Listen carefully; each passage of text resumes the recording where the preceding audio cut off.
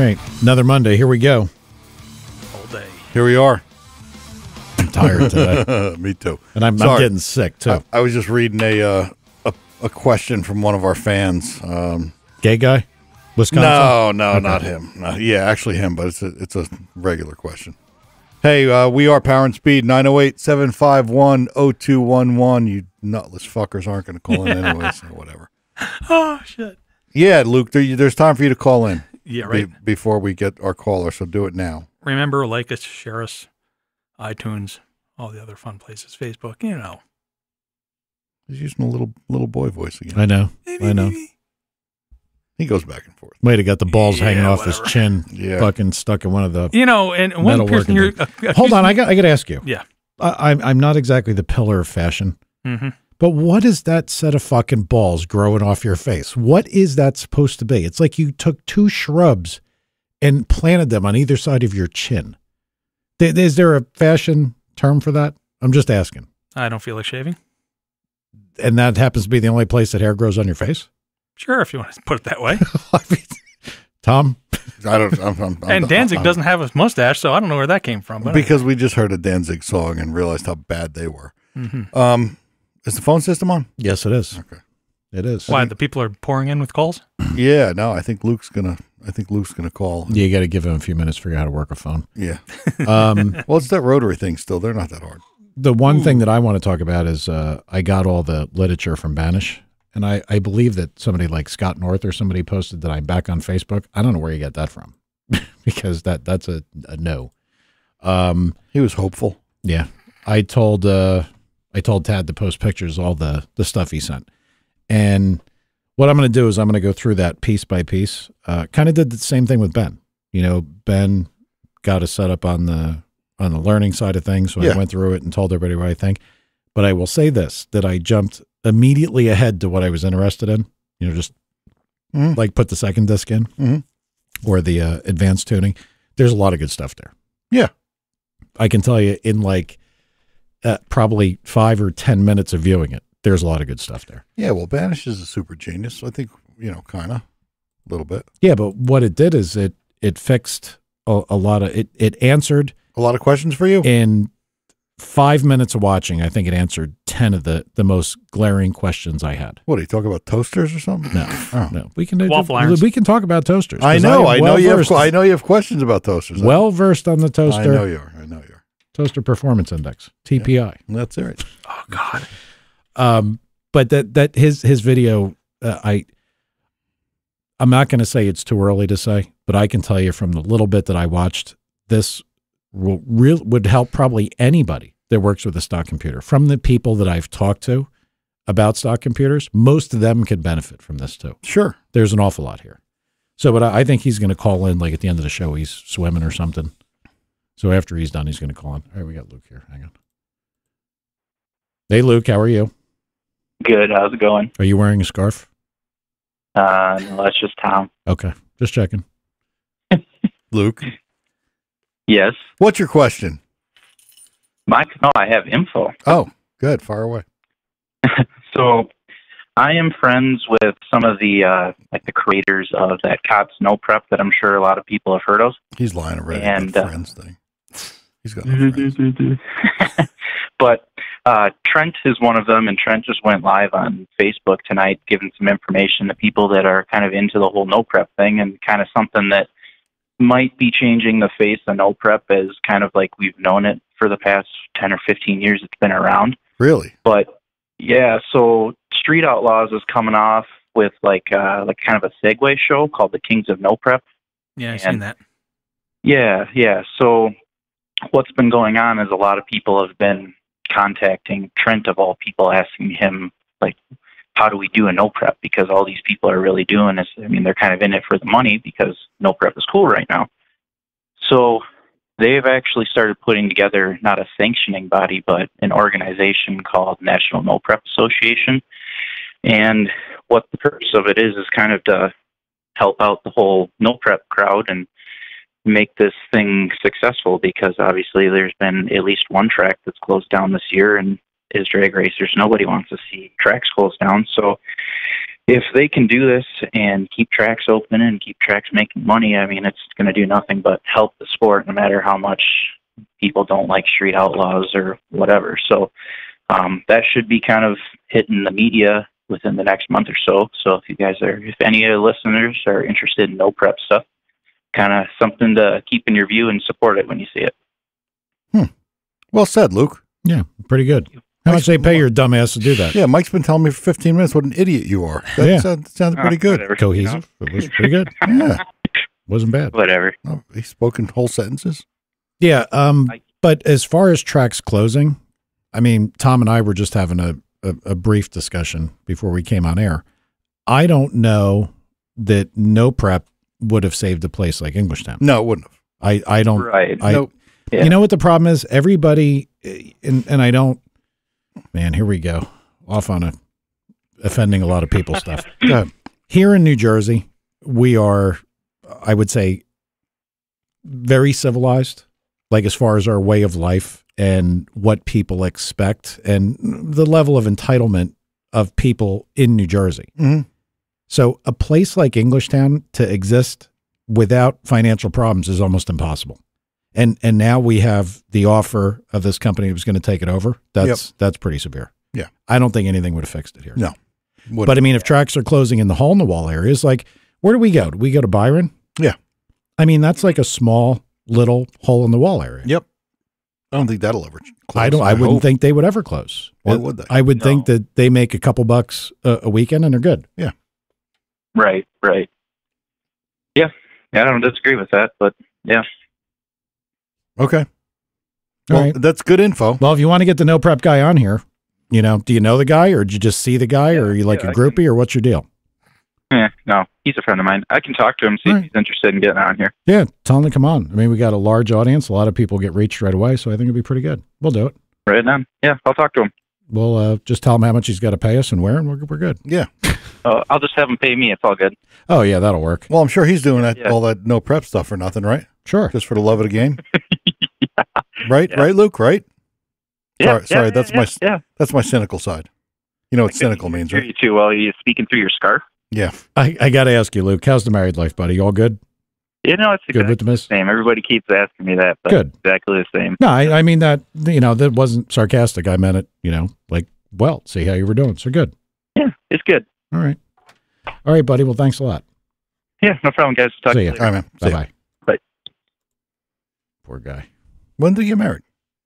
Uh, Well, it couldn't have been that long ago if it's still okay. I mean, it's a matter of time. and, and you're the cynical one, right? Was he married when we saw him? No. So it was. It was recent. Yeah, it was real recent. Okay. I mean, it was within the last, you know, couple months or so. Tad, Google that. Google what? Nothing. Tad. It's nice he's paying attention. yeah, I know. he? Yeah, you're He's busy over there grooming his balls. Yeah. So, uh, I, anyway, back to the banish thing. Um, I think what I want to do, uh, I'm going to get you. If uh, if I get you a way to watch this, are you actually going to watch it or no? Yeah. I'll or would that be like asking too much? Hell no. I'll watch it. Okay, I want to watch it. because we should we should go a little more in depth about this. You know, because this this is a lot of stuff. Yeah. There's, uh, I think there's three DVDs, four DVDs, and a double Blu-ray. Wow. It's a lot of stuff. I'd, I, I would no doubt watch. Definitely watch it. Okay. I think it's going to be fun. That's actually good airplane stuff. Yeah, that'd be good for you. When are you going anywhere again? Uh, I'm going to Dubai in in uh, in end of March. Okay. Yeah, I don't have anything scheduled to go anywhere. Why don't So, you go to Dubai? yeah, Anyway, it's a little far for me, dude. true. A little out of my comfort zone. I, I'm not. I'm not thinking that'd be so great. Hey, so let's talk about tonight. Um, we got uh, Mark Conte from Real Street. Mm -hmm. He's going to be a good guest. He's pretty. He's a smart cat. I see now primarily, and I don't mean this is all they do, Mhm. but they're they're kind of most well known for 2JZ stuff, right? Yeah. Um, you guys, Manly, worked on piston programs for all those things and everything else. I mean, you have a lot of involvement with that, don't you? Yeah. Yep. All right. Is that where was that? Whose did you test? Yeah. That's the test motor. Yeah. Oh, okay. Yeah, made eighteen hundred fifty horsepower. My God. Yep, that was a lot of fun. We got we're do uh, we we're supposed to do that again uh, to make over two thousand. Uh, I don't know when that's going to happen, or even if, but uh, that was a lot of fun. And that video got a lot of views, like a lot. How big was that motor? Uh, three. I think it was a three liter. Nah, it might have been a three four. Wow. Yeah, it's not that that's small. They're, yep. Crazy, right? Yeah, you think about that, the power per inch or something like that. Aren't these the things that we were talking to? Did we talk to Jay about it? That it's like sixty something pounds of boost? Fifty two. That one was, and we didn't. He didn't want to go higher because uh, it had stock head studs. Yeah. It it did that Hmm. with like stock head studs. Yes, sir. My God. Yeah. Yeah. Well, but the the reason to bring up the 2JZ stuff, they do everything. It is not like you were talking about the cars that they all owned collectively a, as a as a shop. Yeah, yeah. they they they do well. They're you know they primarily are um, part sales guys. Right. They have a big operation. They're very very knowledgeable, uh, which is why they're so good. But they also do hands on stuff too. Oh they? yeah, yeah. They have a whole shop. They have a chassis dyno. I mean, is this do they do that as a and maybe we're talking more, we should talk to him about it, but is that an integral part to their business or is it primarily part sales? Like do they are they selective for their work or they only take on projects they want or how does it work? Well, I mean, uh, that'd be a better question for him, but Yeah. but I think uh, they're they're way more primarily um, part sales, Okay. and they do that. You know, they do a lot of R and D, and and that kind of stuff sells parts, and um, you know, they're they're they're in a lot of stuff, Okay. and and they they're they're good at everything they do. Yeah, So, I think must be. Is this Mark? Yep. Hey, you're on the air, buddy. hey Mark, how are you? Hey, how you doing? Oh, we've been waiting. We've been talking all kind of good shit about you. Oh, fantastic. Yeah. So Well, don't let me interrupt you. no, we needed you for the real info. We're just making shit up. That might work. so I could. So, um, we were just telling the the fans or whoever's listening, people, uh, what you guys do primarily, and um, you know how into cars you are. We didn't tell any of the story. Uh, you want to give us a short version of of where Real Street came from? Oh boy. Um, Don't go back to like uh, you know, God created the heaven and the earth. just you know, just Well, the cliff uh, notes. the the the four partners all worked uh, in the industry previously, and then in uh, 2007, Jay and I got together and uh, opened up the. Uh, well, Jay uh, Jay opened it, then he called me a couple months later, and then we opened up the original iteration of what Real Street is, and it actually was a Mustang performance shop. That's where uh, that's the stuff that Jay knows. He worked on Mustangs for 10, 15 years before that. Um, the name Real Street uh, Performance actually came from NMRA Real Street. He used to race in that class with his buddy John O'Brien. Um, so that is the origin of the name. But um, so we came together, and he was working on cars, and I kind of added the uh, business management component and then the part sales side because that's what I knew. Uh, well, you know, that's what I was doing at the time. And so uh, a year and a half after that, we uh, we partnered up with uh, Geo and Clay, and that was kind of the four-headed monster that started things off. And then we were adding people along the way. So uh, Geo is Geo's like this sales machine. He's very good on the phone. He's has great customer service. He's uh, he he he everybody just basically has a different uh, a different skill set. So I was pretty good with the money side, and Clay was very good with the marketing and the IT, and then Gio's very good with the customers and the sales itself, and then uh, Jay was able to do basically everything else that's hands on. Yeah, it's amazing how four guys get together and actually have you know the skill sets that are so perfectly blended to do it all. It, it, it's quite an amazing story. Who was the who was the 2JZ guy? Like who who led Real Street in I that think- direction? Well, I, I'm guessing, but I think they all are. Yeah. really. I mean, Mark, Yeah, ha- you know, you have a couple of them, right? Uh, we all are. Uh, I've had I've had five Supras at this point, uh, five or six. Jay's had two or three himself. Uh, Clay has a Supra currently. Um, Uh, Geo's had, I think, three of them. So we, we've all we've all had them, and then a handful of employees have also had them here. So we all were involved in the 2JZ itself, but um, you know that's only one. That's that's only the engine that we do a lot of development work on. Uh, we're not uh, solely focused on one engine. Oh yeah, we were talking about that. Yeah. You, you guys do everything. Uh, in fact, I was just getting to telling Mike that um, you've branched out into you know uh, domestic stuff. You know, Geo's got a Vette and Clay's got a CTSV, um, Mhm. and it's uh it's you know moving that way now for the business, I guess, because it has to, right? Well, I, I wouldn't. I wouldn't say say that it has to move that way. Like you can, if you ever feel like you have a segment completely locked up, you're probably going backwards. Like you can't be complacent. There's always a way that we can uh, serve people better. Uh, we. I'm not gonna go into all of the things that we have planned, but we have a bunch of really cool stuff coming up uh, for a bunch of different markets, import, domestic. Um, uh, all kind of all over the board. But the way that we the way that we went about it in the beginning, and we honestly continue to do the same thing, is that we try to have controlled uh, and organic, methodical growth. So we don't like you would know this, Tom. We don't go and open up a hundred different lines just so we can have a big line card and sell to a bunch of people, and then hope that we accidentally get some sales from some search engine results. We we started with engine internals, your pistons, your rods, your bearings, your camshafts, this and that, and then we expanded out to uh, engine management and fuel systems, and then turbocharging and boost control, uh, and then from there we went to drivetrain. You know, add some axles, clutches, rear ends, all that fun stuff.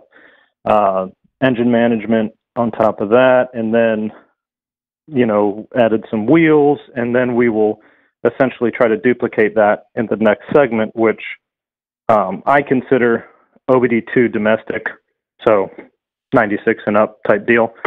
Uh, and we just the the way that we do it is we make sure that we actually are providing a value. So I don't want, I shouldn't say I, we all don't want to go into a market that we don't have anything to give to the community. So the company is very is very uh, adamant about making sure that we're actually providing a value more than just shipping a box.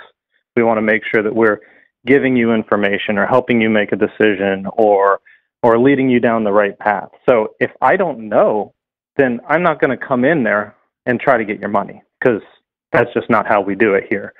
Um, there are other businesses that facilitate the simple logistics end, and they don't have a value add on the um, on the information side, and that's perfectly fine. And I'm not saying that there's anything wrong with those businesses. It's just not what our business is built on. Yep. Our business is built on actually trying to provide you information so that you can make decisions yourself, and so that you can you can you know be empowered to to know that you're making the right decision. You know, all these guys that are either building their first car, you know, the kids coming up, or somebody that's finally gotten to a point financially where they can go and do a car. It's intimidating. You don't want to you don't want to spend money and get it wrong. You know, it's a very complex system. There's hundreds of parts that you're looking at to purchase that you could easily get one of them wrong and it's a catastrophic failure. And the internet So- is actually a very bad place to try to do research and get accurate answers. I mean, you need if if I was looking for answers, I'd want to talk to somebody that this is what they do. You know, that not not just the the the village wisdom as somebody just told me the other day. It's not what you're looking for.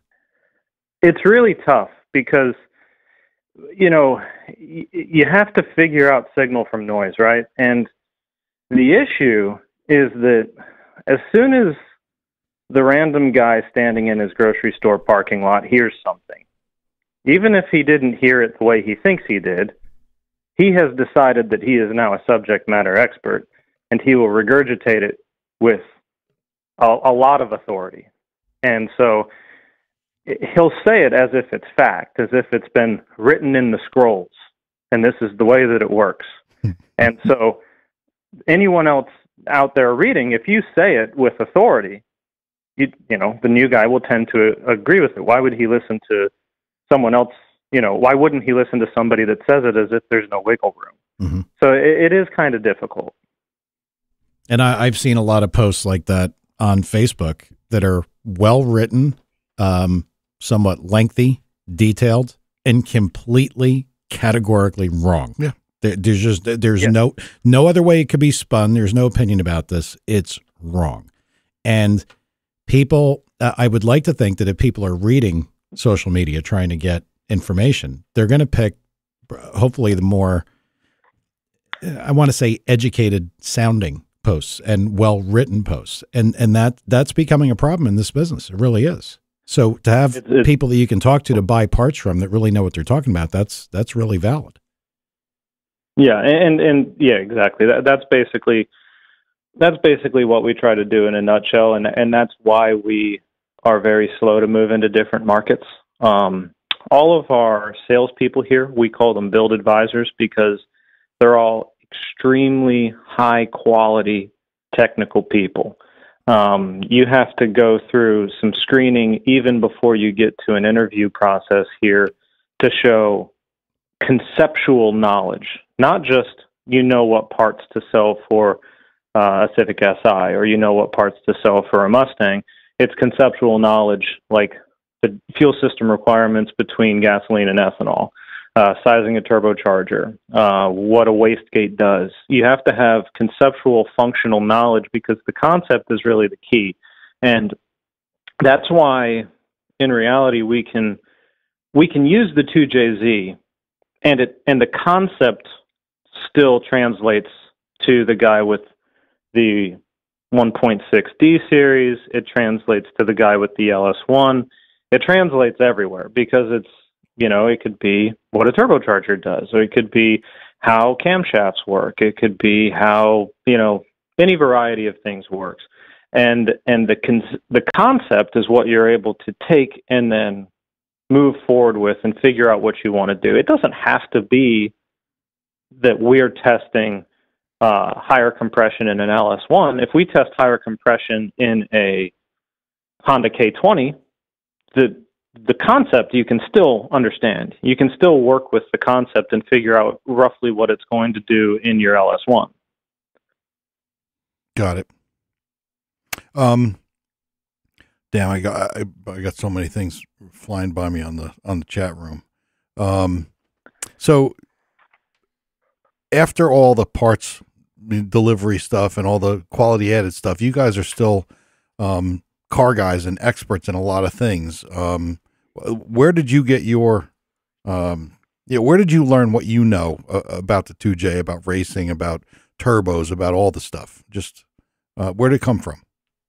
Well, I um me personally, I just try to be a student and a sponge and I just absorb and absorb and absorb and then I'll basically do what Mike was just talking about where I'll find the guy that has said enough right things that I'm like, okay, I need to pay attention from I need to pay attention on what this guy's saying. And I try to translate what I'm getting into conceptual things so that I, I feel like once once you do understand the concept, then you're able to you're able to uh, learn quicker. So I do the same thing with business, with cars, engines, racing, what have you. Um, so I was the the kid in you know junior high school and high school just reading on reading on forums because there was no Facebook back then. Just reading on forums, reading, reading, reading, uh, trying to go to races and events and talk to the racers. And one thing that's cool, the, really the only thing that's cool about being substantially young and trying to get into cars is at the races, the guys that are racing are really cool. And they'll be happy to tell you, to teach you and learn. The ironic part is that when you go to the car show and you try to talk to an owner of a car, it seems to not work that way for some mm, reason. Yeah. But at the races, everybody is more than happy to teach this young teenager how things work. So I just tried to get a huge composite of information and build this, you know, stockpile of info that I could wade through. And so I'm pretty good at remembering numbers. So once I was able to kind of understand how everything worked, then it kind of fell into place that I would almost be good at helping to uh, pick out parts. You know, once you know how camshaft duration and lift works, you can start helping people almost regardless of what engine it is. Same thing with turbocharging. Um, you know, it's th- that's really how I got started. And so, out of college, I started my own business, not really knowing what I was going to do, doing part sales because people were asking me, you know, hey, can you help me with my car? And this is just from me posting advice on forums. And so then another, uh, a bigger uh, distributor that I was a customer of asked me to come work for them. So I did. They had a race team. I worked on the race team for a bit.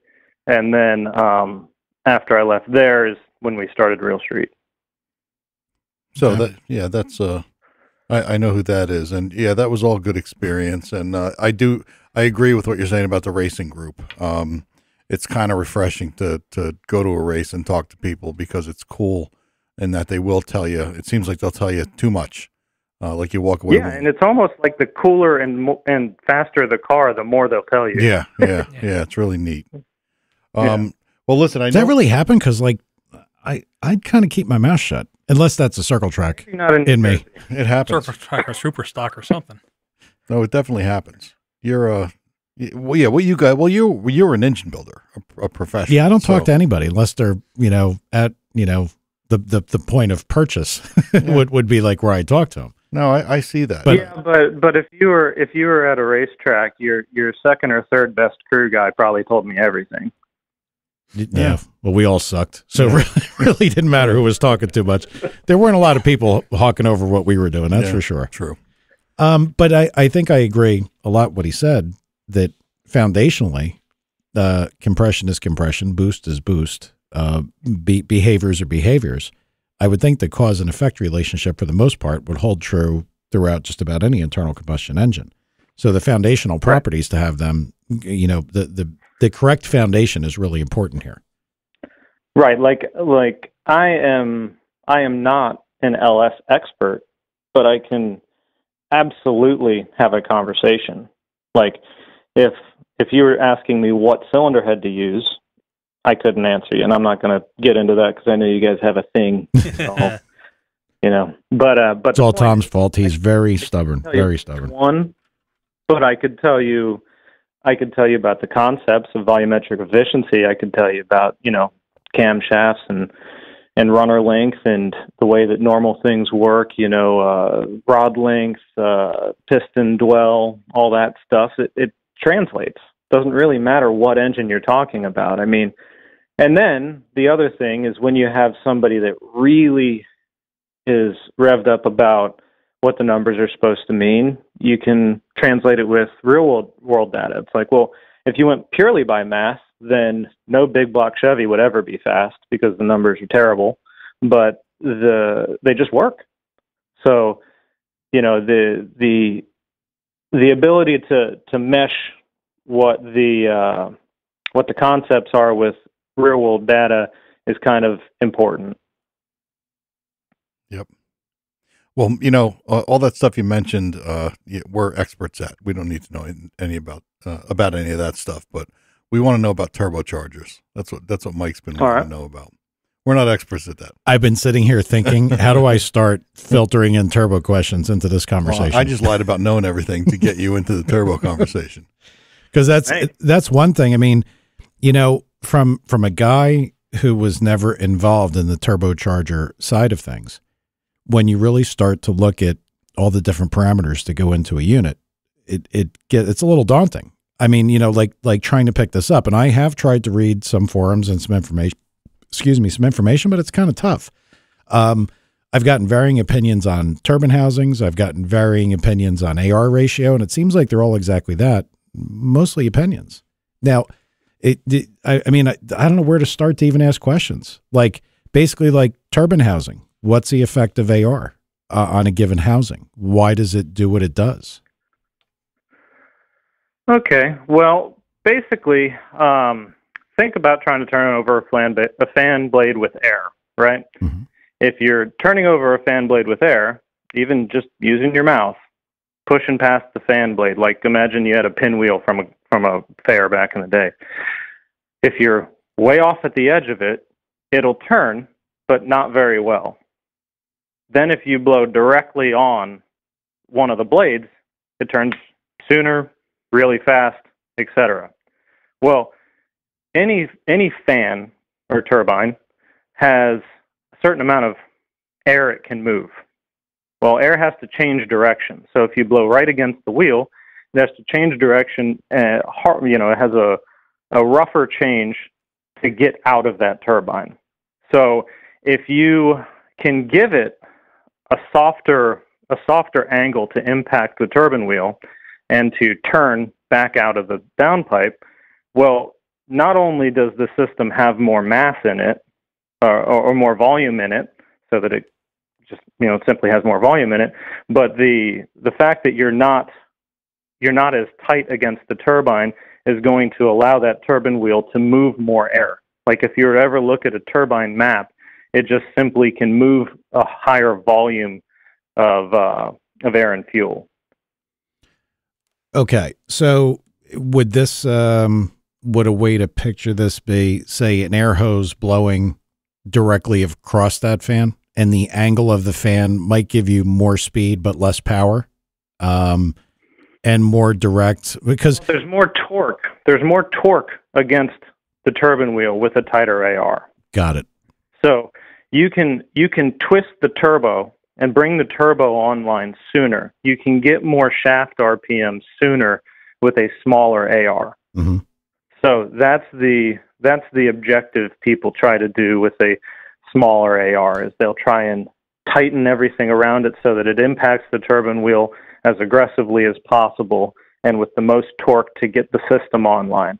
Now, what I imagine the opposite side of that would be is that if you were doing something to bring it online sooner, then the overall volume you could pass through that housing has to be way down, and the amount of power, uh, you know, that uh, I want to say the amount of volume because that you can't. I know how I'm trying to say this conceptually, and I don't know how to say it. Um, no, I get what you're. I get what you're saying. You're and, and you're right. That's the point. Is that uh, is that if you were to give this very small uh, AR that brings the turbo online very quickly, you do exactly that and you choke the turbine there's only so much air that gets through it before it starts stacking up more and more pressure behind behind the turbine wheel, and then it affects the uh, air behind the exhaust valve, and then it can't clear the chamber, and then you make less power. VE goes down. Blah blah blah blah blah. So so it's all efficiency, really, right? What's that? It's all efficiency, really. Yeah, I mean, you know, the the old adage of engine is an air pump holds true here. You're trying to get as much air in and as much air out.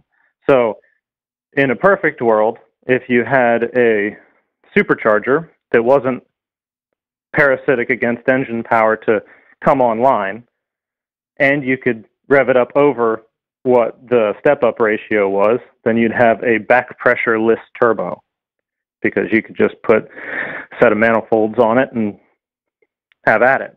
But the turbocharger, while it has all these upsides of being able to turn it up, turn it down, etc., it has the lag and it has the uh, has the exhaust pressure situation. So yeah. when you reach the end of what you can do on a particular combo from an exhaust pressure standpoint, you have two you have two options. One, you can either enlarge the turbine housing and increase flow that way, or two, you can move up to a larger turbine wheel. Well, a lot of people like to move up to a larger turbine wheel when that might not always be the right way to do it because a larger turbine wheel has more mass.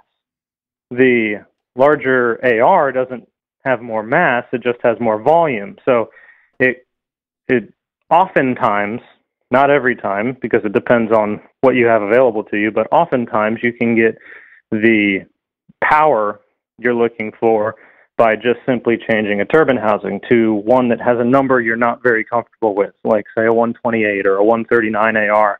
It sounds huge and everybody gets scared, but you're still dealing with a lighter, smaller turbine wheel. So sometimes that's a better choice than moving up in turbine wheel size with another small turbine housing. But that is definitely not a blanket statement. It's yeah. application specific. Because that's as we were talking about that, I was like, okay, then what is the difference between uh, altering the AR, altering the the size of the physical, you know, wheel and and operating structure. But that that makes a lot of sense. Okay. Yeah, I mean, it's basic. it- It's basically mass. You know, if you you're sitting there holding that pinwheel, right, and you blow into it, it turns really easy. Well, now if you hold a if you hold a fan, the same amount of air going against it from your lungs is not going to turn it very well. So when you make that turbine wheel larger, it's more mass to deal with. You know, moment of inertia isn't. It's the turbochargers don't just get get away with magic. It's you know, it's the same stuff that you're used to. If you put a big heavy wheel on a car, car is slower. It's harder to turn over. Same thing with a turbine wheel. Yep. Hey, if, if you know or if you have one, what is the best way, or what is the way that you um, figure out this what size turbine housing you need to start off with without being without buying you know six or eight or ten turbos? Uh, well, when you can uh, when you can get a turbine map, you can try and you can try and plot it. But really, at this point, I just base it off of what I know has worked somewhere else. Mm. uh, and I can I can generally get pretty close. Um, I know that doesn't help the the layperson trying to get involved um, and pick on their own, but if you call us with your you know with your question, I can generally get you close. And sometimes me getting you close involves me calling somebody that has your application and saying, "Hey, what did you see with this?" And then I come back to you with an answer. But um, it's not a great answer, but since turbine maps are so few and far between at this point, I don't really try to base what I tell you based on those. Um, not only that, but the companies that do provide turbine maps, half of the housings that get sold for those turbines aren't their housings anyway, so it's really tough to use. Yeah. Yep. See that this is uh, the way I was thinking about this is like Tom and I we were talking about turbochargers and output and I I think and correct me if I'm wrong but isn't it kind of misleading to say a turbocharger is capable of supporting this much horsepower because horsepower is a calculation based on RPM. So I mean uh, yeah, I mean, to a point, because uh, airflow, you you could you could try and pick a constant for airflow. You know, what what did Corky Bell say? It was like ten point eight seven per pound or something like that. Uh, you you could roughly do it, but the reality of what you're saying is correct because of RPM. Like a a given turbocharger will make more on a Honda or a 4G63 Mitsubishi than it will on a 2JZ, which will make more than it will on an LS, which will mm-hmm. make more than it will on a small block Ford, you know, and so on and so forth. Well, like when if you were sizing, like trying to figure out the cross between a turbocharger, like if I was looking at, let's say, and and this, and look, if you don't want to talk about this stuff, that's fine. Like if we figure we're getting off on a No. on a trail here, let's say you had uh, a six liter motor, and you had one four cylinder that happened to be a three liter. Can Yep. you look at that three liter that maybe makes its peak horsepower of say 800 horsepower at I don't know 9,000 RPM, and can you draw any conclusions to putting say a pair of those on a six liter motor that needs to make say 1600 horsepower but needs to make it down at 6500? It is Yeah, absolutely. okay. I mean, it, the the it, it won't be the Formula One level answer, but it it will absolutely get you in the ballpark. Yeah, if because you had something that was if you had something that was working well at 9000 rpm making power good like really the really the important part is pressure ratio the turbo needs to be able to support your airflow requirement or your horsepower requirement so if you need 75 to 80 pounds a minute of turbocharger then can the turbine wheel keep up with what the boost pressure is going to yield. So if your if your three liter makes for easy argument here, we'll call it 400 horsepower just because it'd be easy math. So if it makes 400 horsepower and then you put an atmosphere boost in it, which is 14.5, and then it makes 800 horsepower, okay, what's the what's the exhaust pressure? If you, the exhaust pressure is again for easy conversation, 14 thumbs up, move forward. Put two of them on a six liter, you're going to be pretty close. If the if the uh, exhaust pressure ra- ratio is all out of whack, like if it takes 29 pounds of exhaust pressure to make that 14.5 pounds of boost, then both engines would be wrong with that turbocharger Mhm. or pair of turbochargers. Yeah, that makes sense. It does. So it's it's the size of the engine is the size of the engine, but the the VE will change uh, and and and yeah, make different power, but it's going to yeah, be in the basically, ballpark. when when you have when you have valve overlap, you've got you've got pressure, you've got pressure in the intake tract, you've got pressure in the exhaust tract. It, well, really, any substantial pressure in the exhaust tract is going to hurt cylinder clearing. You know, the ability to get the air out of the cylinder. That's going to shrink your dynamic compression ratio, which you guys probably know about. But if anyone listening does not know what that is, dynamic compression ratio is the effective compression ratio of when the valve closes or the valves close and where the piston is. So the piston's on its way up the bore, it has essentially shrank the size of engine you're working with. So the dynamic compression ratio is very important. And if you shrink that further with burnt up exhaust gases that couldn't get out of the chamber, then you're further shrinking your engine. Yep. And that's when you're going to see the torque really fall off. So you can see it from the compressor wheel not keeping up, but if the turbine wheel is not keeping up and stuffing exhaust or not letting the cylinder clear, that's when the torque's really going to nose over on a turbo car. hmm That's good real world information too. Yeah, it is. A lot of people don't think of that. Um, hey, I, we got to change gears for one second. I know you want to keep on turbos, but but I promised. Now the the problem is, is it, it's such it's such an involved subject, and I mean, I guess somebody that does it all the time, you know, it it it gets easier. You know, Yeah. you get more familiar. But as a guy who just started looking at them like six months ago, and looking at them half heartedly, maybe a little longer. Yep. But it, it's tough to absorb all this stuff when you haven't been around it. And I've tried, like I said, I've tried to read forum posts, and I've seen everything that I could immediately identify as incorrect to things that I had to really research to see if it was the right information. It's tough. Mhm. It's really good to talk to what somebody. you're describing what you're describing is really the almost the the prototypical the billboard example of what our company exists to help with Yeah.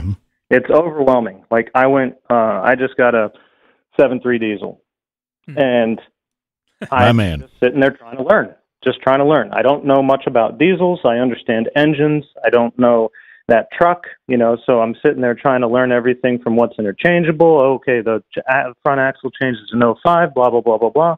Well, when you can find a subject matter expert that you can ask, like I have this buddy on Facebook, Dan Grimm, and I asked him, and he knows all the stuff about these things. And so he sits there and he helps me, uh, you know, this is what you need to do here, here, here, here, here. That, that's basically what we do for the vehicles that we service because it is overwhelming. Yeah. Even a new vehicle is overwhelming, much much less a new concept. If you've been building NA engines where they probably tell you what valve spring you have to use for 150 years, and you're trying to figure out turbochargers where you get free horsepower by pressing a button, it's going to be overwhelming. yeah, Yeah. no doubt. All right. Well, uh, in my effort to change to ch- switch gears for one second, we have a really good listener that um, we've known for a while now, and he I can't name him because his friends will kill him, but he wants to know um, if you're looking to get into a two J. Um, hmm What's a good starting point? He's asking about VVT versus non, you know, pros and cons for both. Um, give us your, you know, your your best advice on somebody's first 2J. That's kind of like saying if I wanted to get into a small block Chevy, you know, should I do a short stroke 427, 388? Should I do an LS? Do I do an iron truck block? It's not that bad, but it's it's kind of tough. Like if he's if he wants to go make 1500 and build a drag car, then don't worry about VVTI really. Just put a 2J in it. In reality, it might even be better for your racing program if it's on a budget budget if you use an NA head, a GE head, Yep. because they're so much cheaper. You can get them for like 50 bucks, 200 bucks. They're super cheap, whereas a GTE turbo head will run you thousand to fifteen hundred, um, and that's used. So it, a lot of it will depend on the budget. If it's just a guy saying, "Hey, I'd like to have a 2JZ powered street car that makes good power," I would definitely recommend VVTi. I had that on my last Supra, and it was it was just plain awesome. Uh, a lot more power in the mid range, um, a lot more fun to drive. Uh, absolutely, uh, a great a great program. Any modern ECU um, will be able to control the camshaft. There are great uh, camshafts available. Uh, Brian Crower makes some. GSC makes some. Um, so really, no downsides from back in the day when you couldn't get any aggressive enough cam uh, to do anything with, and none of the computers knew how to drive the camshaft. So now it's really a lot of upside. Uh, I, the only way I would say not to do it is again if it's just a race motor, it's not really necessary because you're never at three thousand. Right, right. Okay, that's probably all he needs to know. Where I mean, where do you find? Uh, if he needs more, just have him contact me. You know, I can I can walk him through everything that he needs, and and I'll be happy to help. okay. Do you guys have cores that you sell? No, no, Yeah. I hoard my cores. Yeah, yeah. I, I bet. yeah. Okay, so next question, like, where would you look for one? Uh, I guess you're not going to tell me that because eBay, oh yeah. Yeah, they're all over. Craigslist, Okay. Facebook. Well, that particular engine was in quite a few things, Oh, yeah, wasn't it? yeah. I mean, it, it wasn't like it came in one car. No, it's in a lot of stuff till Well, the the the the turbo 2JZ wasn't in very many. Uh, the the non-turbo, the 2JZ GE, was in basically every Lexus for about 15 years, Mhm. and the non-turbo Supra. So that one's very easy to come by. and, and and those are fine to make really good power, right? I mean, you don't want to. Yeah, there's there's no problem with them. I mean, they they use a different intake and exhaust manifold. So when you go down that road, you're probably going to be committing to one because you're talking about a three or four thousand dollar change to your program if you wanted to move to the other cylinder head. But otherwise, the block is interchangeable. Only difference really is oil squirters and an oil feed for the turbo, but that doesn't really matter. Uh, the you can use a head gasket. Head studs are all the same. You know, main caps, crank, all that stuff's the same. So uh, no real problem to use that. The early ones that aren't um, that are not coil on plug have a distributor, so you have to be careful when you do your exhaust manifold, or else the turbocharger will run into the distributor on the passenger side. But no, no real issue using the uh, GE engine. Okay. And are, are they? I mean, can you make a thousand horsepower with those things? Yeah, I mean, I wouldn't, I wouldn't try to make a thousand with either one stock. It has been done, but but if it's built, yeah, no problem at all. Yeah. Okay. All right, that should answer him. All right, Mike, you can go back to your. Insane amount of power from Isn't a, uh, a small package. Yeah. I know. And like we always joked about it, like, oh yeah, my, my wife's car makes a thousand. you know, like That's how it is now. yeah. Car does actually. Make. Yeah, yeah. I think everything his wife owns makes a thousand or more. the the it's really a pretty crazy time. Well, I mean the the variable valve timing, I think that that's got to be huge for everyone involved. I mean that that and and especially I mean for the import guys that have separated exhaust and intake camshafts, that opens up a lot of possibility. For the domestic guys with the single push rod in the or single camshaft in the middle, it's a little tougher because you're just moving center line or you know installed center line. But that sounds like how involved do you guys get with that stuff? Is it is it uh, uh, working essentially like a switch that an RPM we're going to move, or is it constantly varied depending on the situation?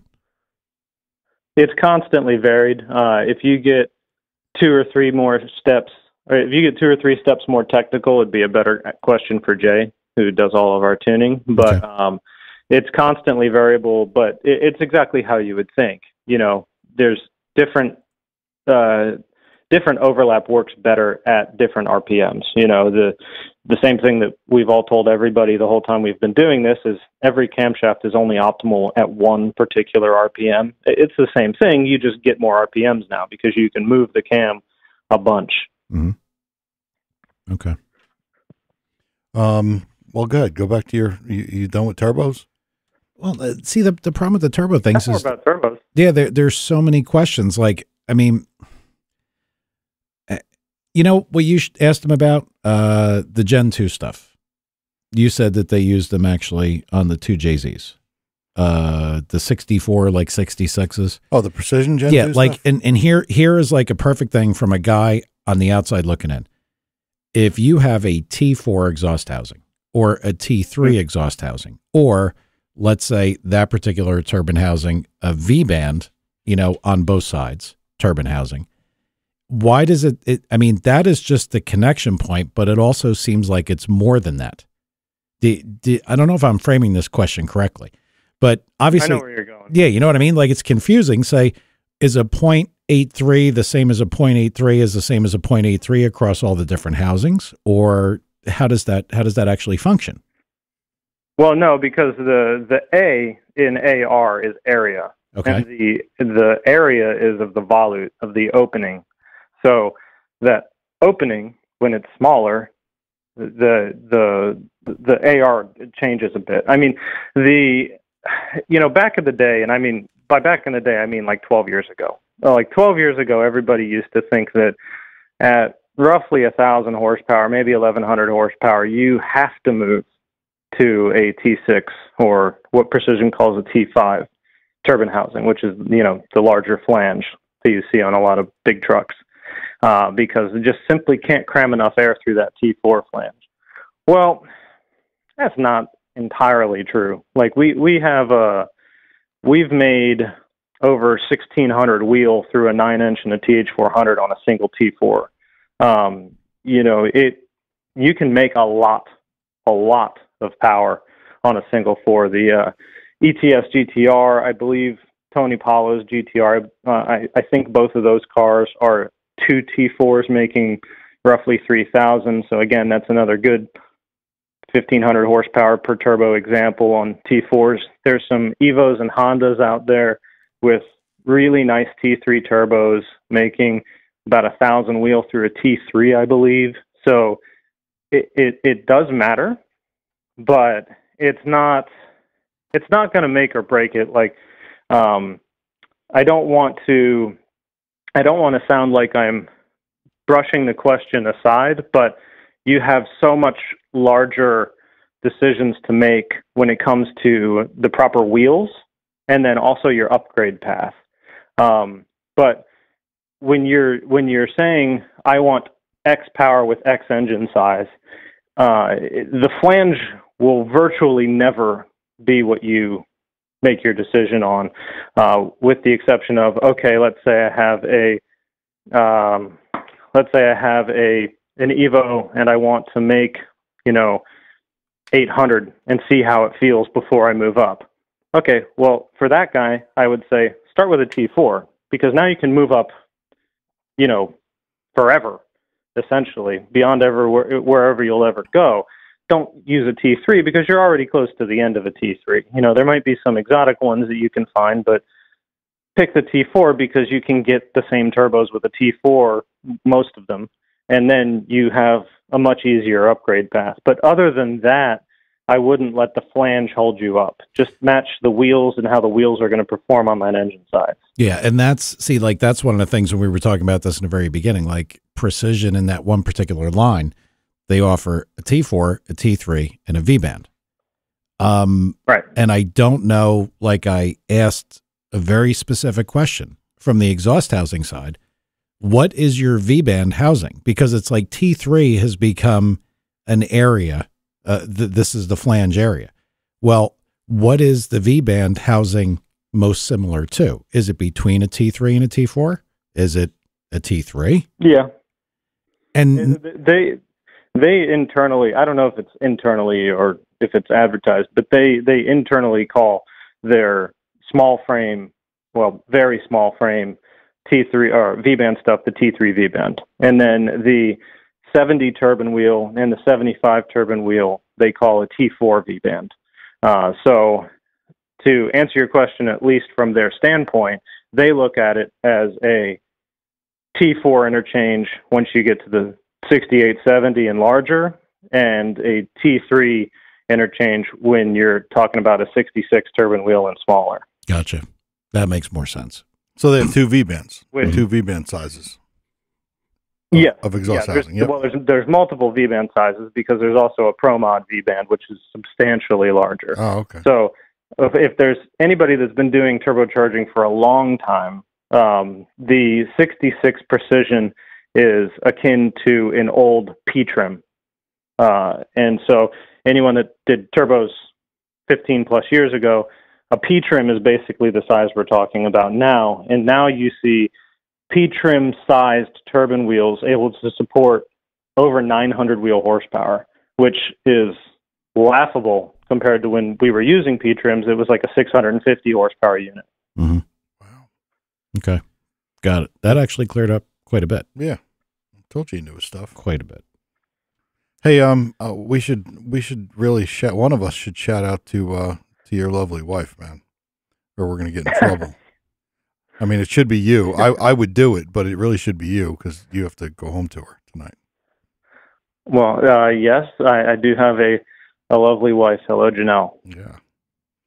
Um, Mike's looking at me like I'm crazy. I, I happen to know his wife very well, and and, and Okay. she and she deserves to be shouted out. Okay. to. Well, I'm I'm not looking at you like you're crazy. Yes, you are. I'm just Uh, looking at anybody little bit. married like they're crazy, but that's just me. I mean, I'm Yeah, just I'm a little different. That's actually true. Um, so, uh, listen, tell us, uh, tell everybody how to get a hold of you guys and, and all your all your contact stuff. We're easy. Um, we have basically any method of contact that you guys want. Um, uh, call us 407 695 7223, uh, realstreetperformance.com. Uh, we are on YouTube, uh, Real Street Perf TV. Uh, we're on Instagram. We have uh, all of our build advisors have um, company cell phones, so you can text in your orders. International customers can use WhatsApp. Um, a lot of our guys are constantly answering questions or orders or helping with advice at all hours, so we're really easy to get a hold of. Okay. Greg Banish just asked if you guys uh, see smoke signals anywhere, which I thought was pretty funny. Anyway. Uh, we can probably figure that out. I'm sure you could. Um. All right. Well, listen, man. We we appreciate you coming and uh and all the info, and uh you know, hope everybody out there dials you up and and uh utilizes your service and your stuff. Yeah, I mean, you can't you Yeah. can't go wrong. Anybody listening, if you're looking for good, you know, people with good knowledge of what they sell, they're not just people putting parts in a box. These are the guys you got to talk to because that that experience is hard to get. we have um we have a video series that we do called Jay's Tech Tips where we we just you know do a lot of that conceptual type stuff uh, where it's it might be on one particular item or one particular engine, but it's all about teaching the guy so that he can so that he can learn and and again not to rehash it but feel empowered. So uh, if you go look at our video series, it talks about everything from selecting the right bore size to nitrous fail safes to to a variety of different topics, you know, uh, clutch switches and valves and, and all sorts of stuff that you probably didn't know at one point. Maybe you know half of it, maybe you know 90% of it, but most of the guys I talked to, if they've watched a bunch of them, they said at least one or two of them taught them something new. So we try to give people the information. Uh, we aren't secretive. We, you know, that that's that's our value proposition. is Okay. to- is to share the knowledge with you. in my in my entrance into tuning and learning about measuring and logging and everything, did Jay have a video that specifically talked about flex fuel and lambda? Yep. That was them, right?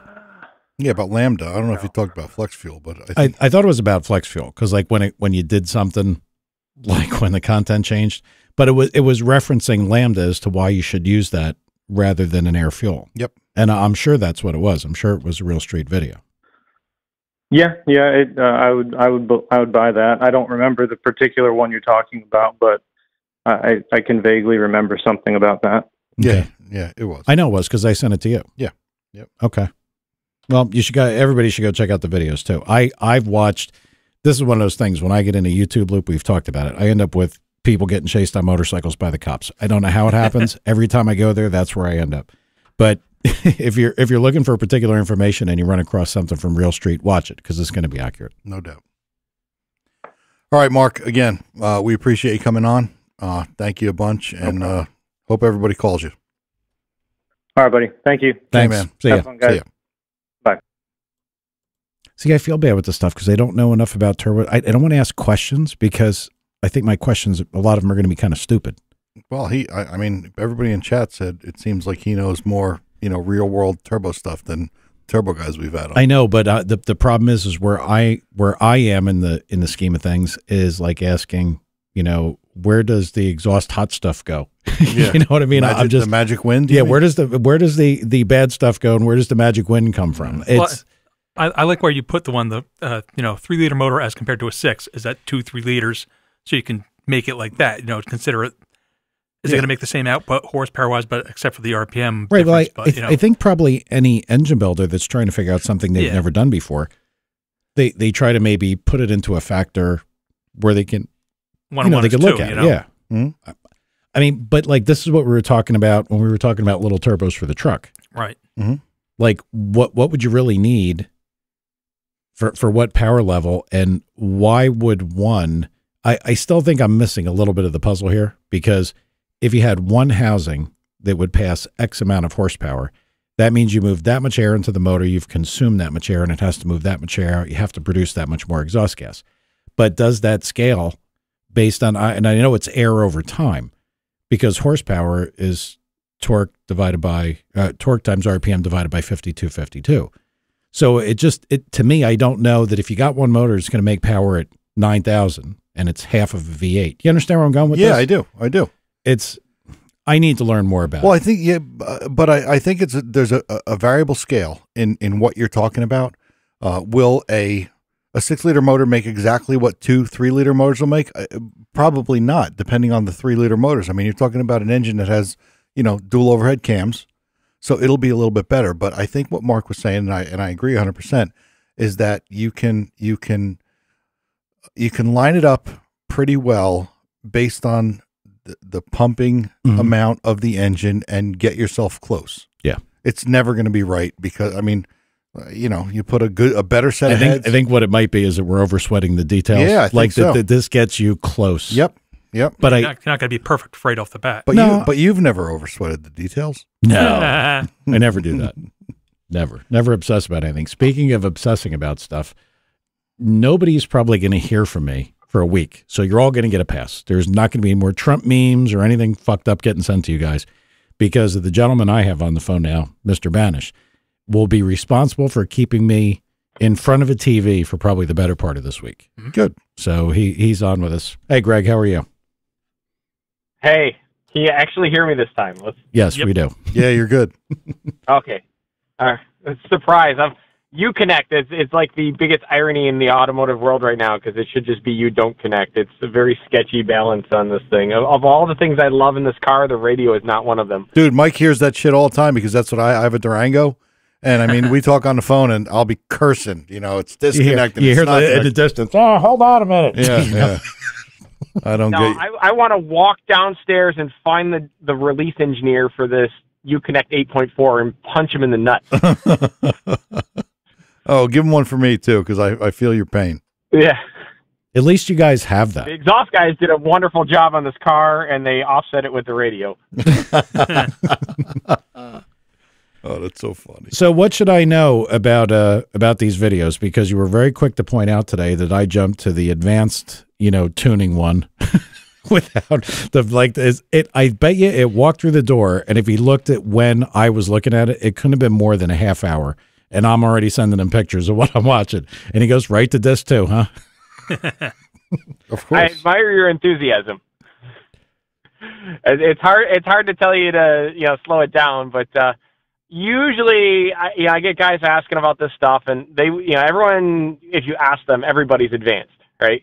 Oh man, I know how to tune a car. Tad's advanced. Show me this one little thing, right? But the funny thing is, like, the more complex the combination, the more complex the control system, the more the fundamentals matter. And I'm shocked at how many people, trainers included, miss on the fundamentals. Mhm. Right? It's just very basic stuff. Like, you know, we spend a lot of time as tuners in a community looking at our wideband and adjusting a VE surface or a MAF curve, right? Because that's what the wideband says. And, you know, aside from whether they're using a piece of garbage wideband or something they can actually believe, or they put the sensor where they can believe it, or you know have any air leaks in the system or other mechanical issues, guys just can't be bothered to put injector data in. Like it's not that hard, and so Disk One has a long explanation of why you want to use known fuel injectors, right? And I'm kind of glad I don't do end user tuning very much anymore because it's always a pain in my butt. You know, guys like, well, can't you just? No, I won't touch your oddball fuel injectors. You're basically your options are an OEM injector that I have the data from a CAL file, or something with known good data. Like Paul Yaw's injectors are pretty good, right? All his data is pretty much spot on. There's a handful of others. I got I've got a set of injectors on my Corvette that came from Zip Products where they've got 1832 data and it's plug and play right into the GM units at GM pressure and it dropped right in and things go right where I point it. You know, as a calibrator, you you want to calibrate. You want to point things somewhere. You say, hey, I want to go to lambda 0.91 and watch the wideband go 0.91 with no correction active. Mm-hmm. That's how you know you're in control. And so if we don't get the basics right on fuel injector or how we would log a lambda error against map and RPM, then how can I explain to you the process of correcting virtual VE based on equations and coefficients? Yep, your initial foundation is wrong, so you're you're really fighting it. Yeah, I, so I, I always end up spending a lot of time sweating the basics, and guys like, oh, that's all theory, it's all nonsense. You know, real tuners don't need that. I'm like, um, yeah, math applies to everybody, guys. yeah, we we race a quarter mile, not eh, kind of sort of over there, right? You know, guys want to know who crossed the line first at exactly one quarter mile. You know, there's some math in that. So you know, math matters. How do we, you know, handle our engines? We we put a number on it. That's what engineers do. We put a number on it, and, and the math isn't really hard. I mean, it's it's a lot of multiplication or addition for the most part. I mean, we can all the stuff in my classes, and even in the video you're watching, Mike. I mean, you can do that math with your smartphone. Mm-hmm. Right, you can do it with a solar calculator if you had to. Right? Yeah, yeah, and, and so far, crazy. like the stuff that that I've seen, uh, I I'm gonna I'm gonna go through these from start to finish. I think that I I had the benefit of maybe not having to filter through some of the internet noise because I could talk to people right off the bat that would be like, no, no, no, don't do this, do this, like immediately, like no, no, no, don't look at air fuel, look at lambda. And I think that was a, a big head start, especially when looking at the flex fuel stuff. It gave you a better handle on what's really happening chemically. And I I think that with all that, I, I think that probably foundationally, I'm probably better off than I thought I was, but I'm definitely going to start from the beginning. I went to, to Disk 2 because I wanted to know a, a couple specific questions I had about virtual volumetric efficiency tables. There were a couple things there that I thought were, were pretty interesting, and I wanted to know how they worked. And honestly, in five minutes, I had almost all of them answered. So that was nice. Was real good. Yeah, it's funny because that virtual VE thing doesn't exist in the ECU, right? It's not there. Yeah it we have to do post processing. So HP tuners and EFI Live are nice enough to run those equations and spit out the values in this surface, this 3D surface that we can, as humans, can look at and go, oh, let me move that area up or that area down. Mm-hmm. But that's not what's in the ECU. It's just coefficients. Right. Right. So they have to have this solver to go from this mythical surface that you've kind of sculpted and corrected based on the errors you saw and dial it back to a number that the ECU can process. And the funny thing is, like, you know, it's it's building blocks, right? So we had disk one and disk two, which you've got. And Dave and I were just recently, I mean, like literally weekend before last, we're filming Gen 5 stuff. Mm-hmm. And guess what? It's still in there. Right? GM didn't completely reinvent all their virtual volumetric efficiency just for the direct injection engines they basically carried it all over. They just changed one of the units, and so we had to capture that on when we film it, and we're going to explain it very thoroughly and show some practical examples of it at work, and show how it relates to the stuff that you just watched in the advanced series on the Gen 4 engine. Mm-hmm. So we're going to hopefully make that easy for other people to understand, so they're not afraid to do virtual VE on an LT1 or an LT4 or L83 or whatever you know their favorite DI engine is. Okay. I think those DI engines are going to be the future here. Yeah, yeah. I guess they're they're probably not going anywhere. Yeah, yeah, they're here. Hey, so Dave is I your mean, they got partner. rectangle ports. So Dave's your yeah, partner. yeah, yeah. So yeah, he's the one who's been kind of lurking in the in the uh, chat room there. He's got the 2J in his scamp, which Yeah. is why he's probably pretty interested in what Mark had to say. We're, that scamp, we're not really even leaning on it yet. It's just you know, it's fun. It's a good demo. The, it, the car's a head turner because it's something really different, but it, it's a lot of fun. You know, What year is the car? as much torque. 71. Oh, that's so cool. So it's like a dart, Yeah, it's on the cover of the, Yeah. the DVD. Yeah. A dart with a TJ. Yeah, and it, you play well. It's on that Blu-ray. Yeah, so in the Blu-ray, you'll see us in that car filming. It's got a MS3 Pro, and you'll see us tuning it. it. It's just one of our demo cars. It's just you know, it's just another engine to us. It's it's all pink in the middle to me. I don't care. You know, air, fuel, spark, whatever. Dave did happen to mention that when he gets tired of talking to you, he blames it on your Uconnect. ah, jeez, uh, I hung up. Sorry. Yeah, I'd be like, hello? I can't hear you. Yeah. Huh? Hello? Well, All right. Well, here's what I'd like to do, Mr. Banish. Um, after I go through, you know, maybe the first disc, uh, maybe get you back and we'll talk about it. I mean, how do you want to do it? Do you want to, you want to talk to me after I've done through? Joe, tell tell me what you think people want to hear. Yeah, I think everybody should watch all the. Everyone should order three copies from DetroitTechnicalMedia.com and uh, have them on hand. One for home, one for the office, one in the car. right? Yeah. I, I agree. I, I mean, people from, from what I saw, like I said, just wanting to know some specific things and knowing that, you know, having a conversation with Greg the day before or the, you know, last week that, oh, that disc is perfect for you. We do exactly that. We talk about virtual volumetric. We talk about scaling. We talked about all the things that I knew the term, I knew the principle, but I didn't know exactly how or why it applied in the computer. Cleared all that up Yeah, pretty quick. the key words right there, Mike. How and why. Mhm. And I think that's what Dave and I focus on when we're doing video production. So many guys will take your money and and tell you what. Yeah. Just oh well, just zero that out and just you know just plug this number in. Oh you know LS you know naturally aspirated LS one's like 27 degrees of WOT timing. Well, what happens when it's different, right? So what I want to do is tell our students what are you doing, right? How does that system work? How did it come up with 27? You know, it's this plus this plus this.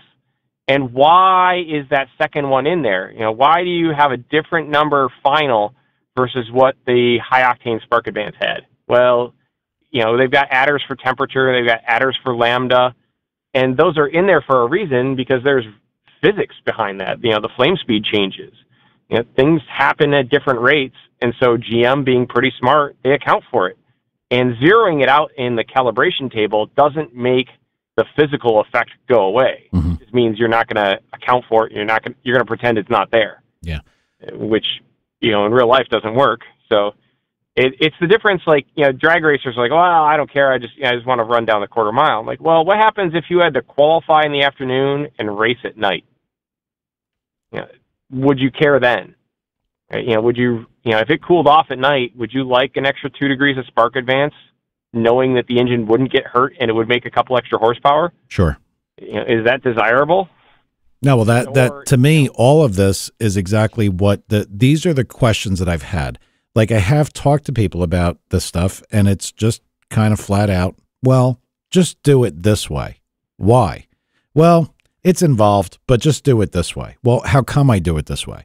So the next time that I run into this problem, I understand how to do it. Most people were not willing to answer those questions, and either they don't know the answer or they just don't want to take the time to tell you. I I mean, everything has a why, and I I'm very much the why guy. I want to know why. Yeah, and and that's what we're we're trying to answer that question in all of our training material, right? You know, I know everyone loves that it should be free and you know it's all over YouTube, but you know, kind of some of that you get what you pay for. So, I, if I'm going to charge somebody for our training, then we better deliver. We better really answer the question for you. Okay. So that's always the challenge for for us is to put material together where we're actually answering a useful question to you.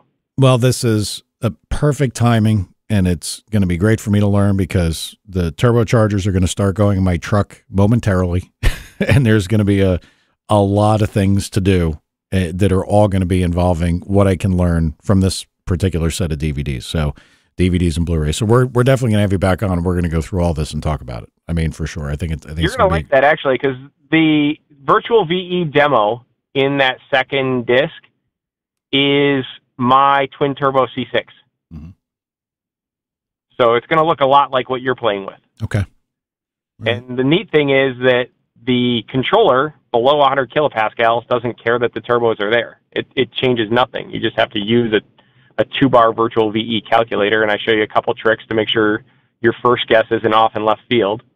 And then after that, you just collect the data like normal, and you know, we map it steady state at 120 kPa. Yeah, I saw that. Boy, does it indicate the reason in the video for a good steady state dyno facility.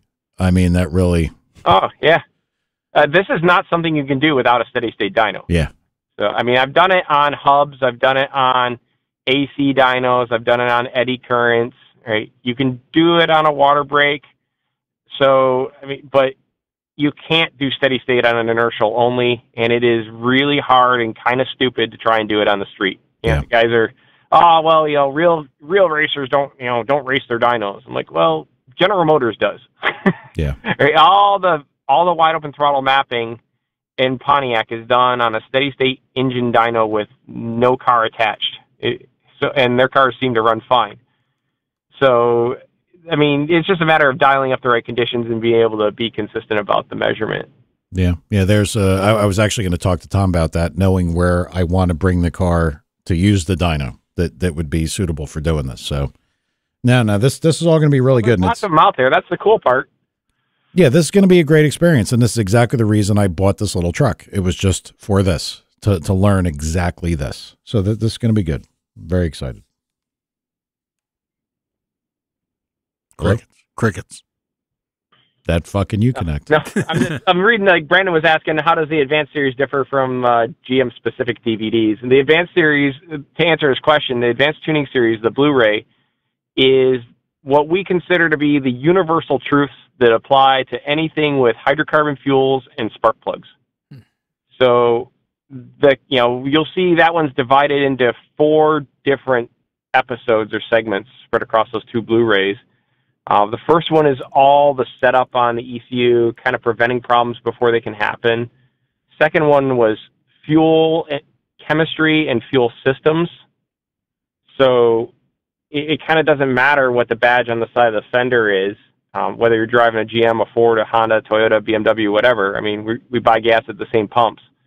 So there are some lessons you have to learn about gasoline and even ethanol that are kind of universal. Uh, there's an episode on nothing but airflow measurement, so both MAF and VE, but it's not GM specific. You won't see GM v- virtual VE on the Blu-ray, but you'll see steady state VE mapping and steady state MAF curve stuff. And then there's another episode on spark advance because Mhm. the concept of MBT translates to every engine. Okay. So, you know, somewhere, you know, at a certain speed, load, temperature, and air fuel ratio, there is an optimum timing point, and retarding from it has a very consistent effect. And sometimes it's desirable, and sometimes it isn't. Yep. Well, like I said, we're going to talk about all this stuff, and I'm not. I'm not going to. There, there's no way that I could relay enough information to people. to Be like, huh, I don't need to buy the disc.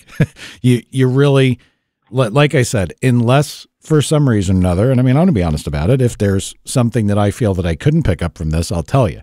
But from seeing what I saw already in the brief window that I jumped to to learn specifically about like those two things, you know, VV and scaling, uh, there's no doubt that every question you have is going to be answered here. This is going to be a really good resource for somebody if they buy it, if if they want to know more. So, all right, Greg. Yeah, and it's a lot to digest in one setting. You know, I, I sent you all. You know, I sent you two discs and a Blu-ray and the books, and like you know that'll keep you busy for a while. I don't expect that our customers and you know our friends who go out racing sit down with a bowl of popcorn and say, "Man, I'm going to sit down and watch two hours of technical instruction, start to finish, right now, and I'm going to absorb all of it the first pass through." I, I'm an idiot if I think that's what they're doing. So the cool thing is, is you know, given to them this format, they can watch a little bit, pause, stop, go do something else, clear their mind, come back a little bit, watch a little bit more.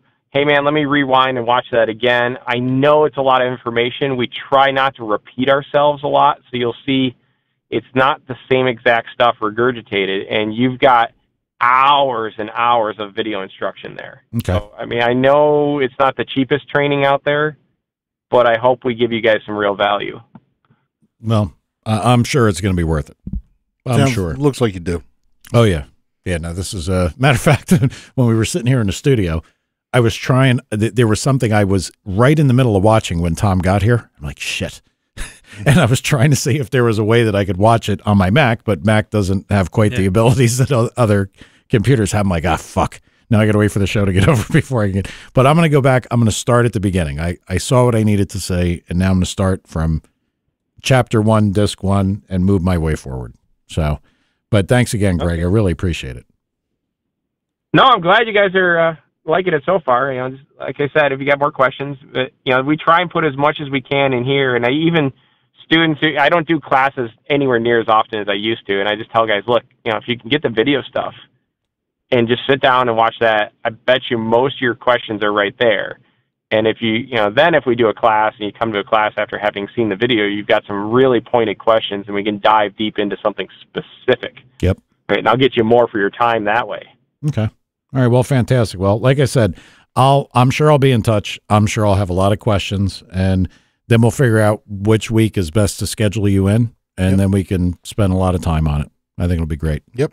Great. Well, hopefully by then, Dave and I will be a lot further into the Gen Five stuff. We if we get into that. I'll I'll make sure you guys get a chance to see some of that moving forward. But uh, we're still a little ways out on that. Okay. A lot of work. Apparently, it's it's kind of surprising how few people in the industry are willing to talk correctly and deeply enough to describe the DI system's functionality and not just regurgitating the same internet wisdom. And and just So to, to point we're doing a out that some of this some of this direct injected stuff you were doing was actually down at Howard's, right? Oh yeah, yeah. We I filmed a lot of it there. Yeah. And so, but I've been doing DI for years. I mean, I've, over a decade. I was back in 2006 or seven. I was doing a gasoline direct injection turbocharged V8 proto for Ford. It never saw the light of day, but I mean, we had we had a 5.4 liter F150 with twin turbos. It was kind of neat truck to drive around. Wow. I would imagine. Hmm, okay.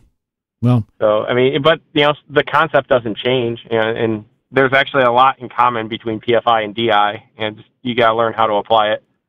okay. But I mean, we're talking, you know, the stuff that we filmed at Howard's. We did some really cool stuff with high pressure pump control that I don't see other people doing anywhere in the industry right now. So we're just going to put it on the on the video and let people learn how to do it the right way.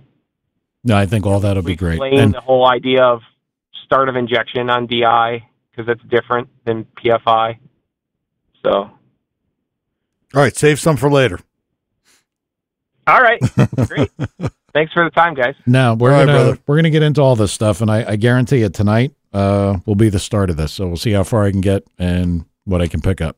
But thanks again, man. But we'll get it all scheduled to get you on here, so Yeah. we can we can have a good conversation about all this. Yep. We'll get them on. Okay. Tell your listeners if they uh, they want to play along with you, they got to go go to DetroitTechnicalMedia.com. Dave's got all the discs posted up there. You, you can set it. We we can get them all out to you ASAP. You guys can play along together. It'll be a fun game show. Yeah, there you go. There we go. Everybody go get it, and then I'll I'll quiz people that call in. There you if I can get these sissies to call in. There you go. all right, Greg, man. Thanks a lot. Hey, thanks, guys. All right, man. Thanks. See you, man. I, I think it's going to be really good. I do Yeah. too. There's a lot of lot of educational material out there if you're if you're willing to spend a little bit. I mean, look, this stuff's never going to be free. No. you, you know, it's going to be very hard to get the level of information that you need in the granularity that you need for free. It's not It's cool happen. that he's he's him The and his two of you motherfuckers, all you've been here. doing is yawning all day. Yeah. I look over at Tired. Tad, he's yawning. I look over you, you're yawning, and I'm the guy who's getting the flu. It's late, man. Yeah, you're gonna give it to us or whatever. But I hope so. and I I, got hope- two, I got two quick things for Tom too. Uh oh. First one, because you probably know a little bit more about Mopar than uh, Mike here. But Really? an A Wow. body, yeah, oh, a Dart and a Barracuda are the same animal. So what do you think? A 2JZ and a Barracuda as opposed to a third gen Hemi with the blower. I would definitely put a two J in it. Yeah. Without a doubt. And the second one, something I found I tripped upon on Google Images search. Since you're a watch person, Okay. there's a guy out there that or a company they make a they take a Bugatti W16 block Okay. and they make a watch winder out of it for your wristwatches. Yeah, I have one. You have one of those. It's a hundred thousand dollar wristwatch Uh, winder. maybe that's not the one. I was going to say, you motherfucker, you got a hundred thousand dollar jammy to wind your watch. I'm looking at. it, I'm like, who the hell? And and they're they're Thought I bought stupid shit. Yeah. Man. and they're talking about this wristwatch, and then I looked. It's like, well, Costco sells more expensive wristwatches than that. Why are they naming that, or they're getting paid? I don't know, but it was just an Well- interesting thing. It's on not. It's on nosleepatall.com if anybody wants to just look at it. So Look at See, that. Oh, look at. Yeah, yeah, look at us, right? yeah, self promoting. Whore. Good God. job. Good job, Ted. All right. Got Anything else? We didn't even really pick on Fudd today. And boy, I got a lot. Oh, that poor guy. There's not enough time for that. Well, I, I told him I'd help him, you know. See, programming requires a little bit of logic. I think that's might where his train might leave the track. Definitely. definitely. we'll go over that another time. All right, well, we'll see everybody next week. Uh, and uh, thanks for listening. See ya. Yep.